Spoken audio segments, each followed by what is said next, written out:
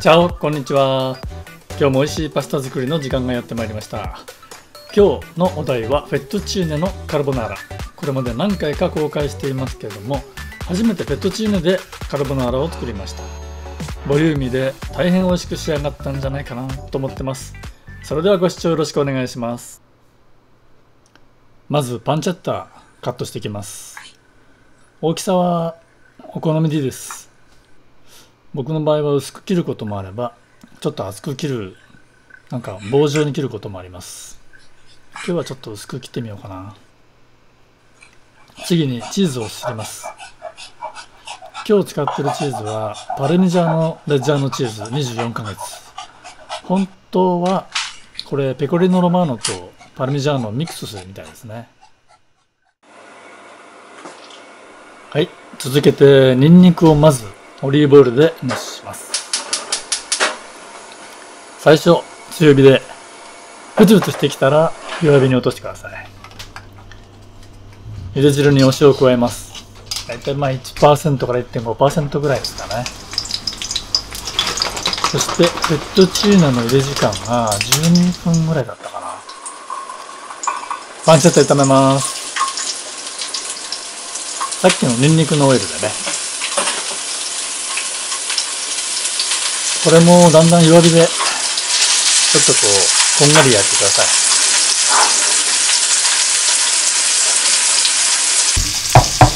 次に卵。まず最初全卵を1個割り入れちゃいます。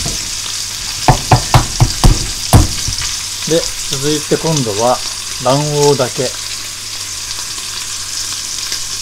このね、卵黄だけを2つ入れるんですけど、今までの経験だと、このバランスが一番なんかしっくりくるような気がします。もちろん人によってはね、もっと全卵だけっていう人もいるし、卵黄だけっていう人もいますよね。で、ここにパルミジャーノチーズを加えていきます。さらに、黒胡椒もこの場で引いてください。これやっぱり引き立てじゃないと美味しくないです。あらかじめ引いてあるやつはちょっとどうかな。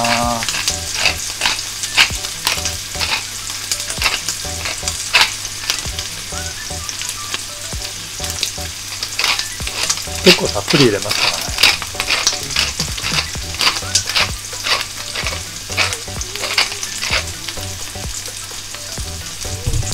そしてねこれをここで混ぜとくんですよ。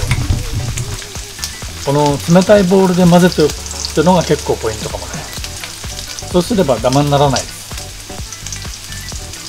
プロはフライパンの中で混ぜますけどね。素人はちょっと難しいかも。はいここにパンチェッタの油ごと入れちゃいます。これもし油っぽいのお好きじゃなければ油は取った方がいいかもね。これでまたよく混ぜておきます。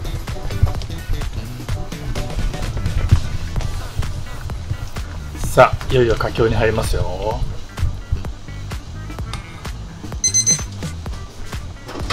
こにフェットチーネを混ぜると。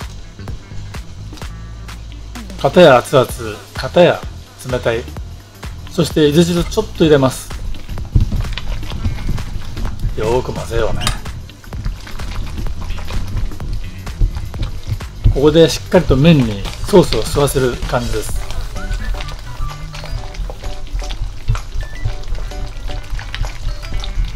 丁寧にじっくり混ぜていきましょう。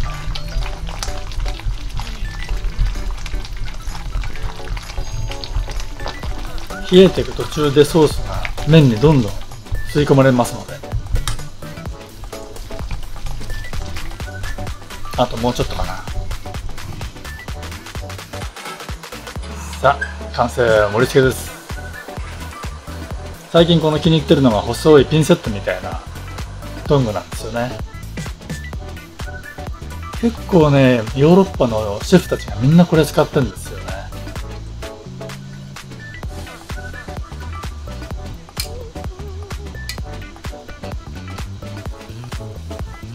さあソースかけ回してさらにまたチーズをかけるんだよね。だから結構チーズはねこの料理はたくさん使うんですよ。美味しそうでしょ？ここにまた黒胡椒カルボナーラの語源ってカルボンって炭焼き職人だからね。この黒胡椒は炭の代わりです。いよいよ完成です。さーて食べようかな。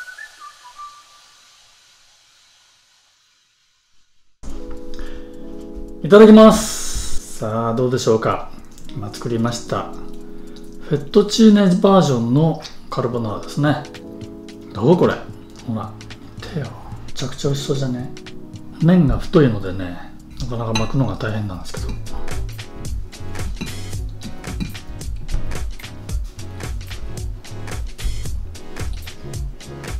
うんうん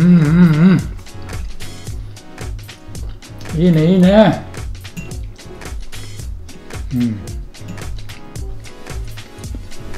このぐらいソースが残ってる感じがいいね。いつもはね茹で汁入れないんですよ。あんまり最後。今日はちょっとこうやってクリーミーにしてみたかったので。茹で汁を入れてみましたらまあまあうまくいきましたね。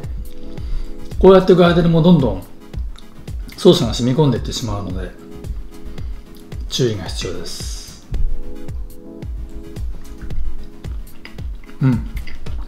パンチャッタもしっかりカリッと揚がってます。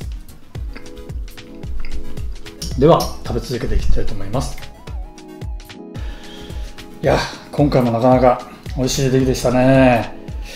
今日はあのスパゲッティじゃなくてねフェットチーネでやりましたけどもあのこのカルボナーラの発祥の地であるローマでは結構リガトーニっていうか太いパスタでやるのも多いですよね。ショートパスタの。まあこれはロングパスタでフェットチーネなんで、まあ、割とこうボリューミーな感じのパスタじゃないですか。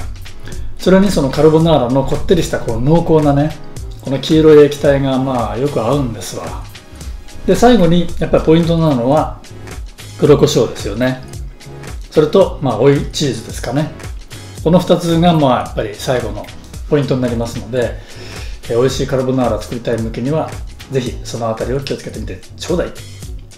ということで今日は、えー、濃厚カルボナーラ生クリームを使わないバージョンでお作りしてみました、え、いつもチャンネル登録とかコメントとかありがとうございます、え、使ってる材料とか、え調理器具なんかは概要欄に貼ってありますのでもしよろしかったらチャンネル登録してみてくださいそれではまた次の動画でお目にかかりましょう。チャウチャウ、チベディアもチャオ、チャオ。